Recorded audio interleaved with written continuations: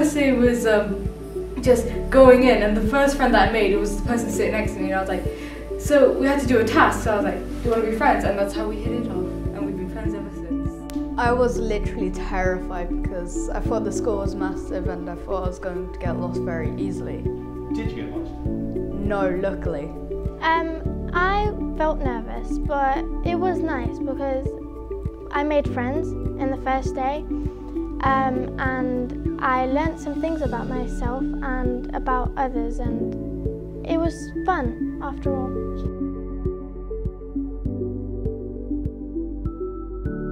After um, I've got introduced to other people and I made friends, that's when I felt like I settled in. Yeah, someone in my class, Quentin, he introduced me to some of his friends and then they became my friends and then we started making a whole group.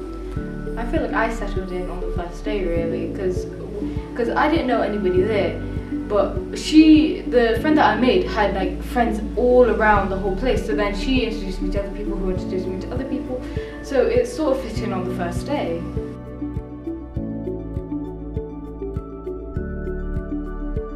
My top four are probably English, science, French and art. Why do you have so many? The topics that we cover in the lessons I really like. For example, in science we started looking at the speed of light and the speed of sound and we, we, we started having a conversation about space and I'm really interested in space at the moment. Maths. Maths because basically I'm really, uh, the best at it. Like, the best subject for me.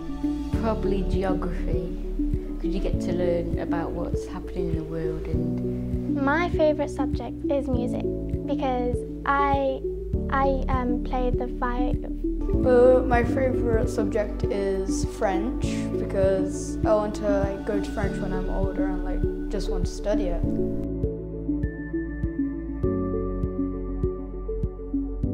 Miss Latimer, she is just this ball of sunshine and happiness and love.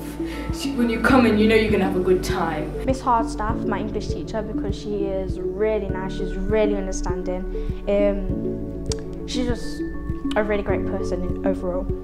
probably my tutor. My favourite teacher is Mr. Collington. He's just fun and nice and he it look I don't know, but I think he cares about us because whenever we're in lessons, he's just so fun. Uh, I've got two, my French teacher, Mr. Neville, and my English teacher, Miss Hardstaff, because Miss Hardstaff is really nice and kind, and uh, Mr. Neville because he'll help you no matter what if like you're stuck or anything.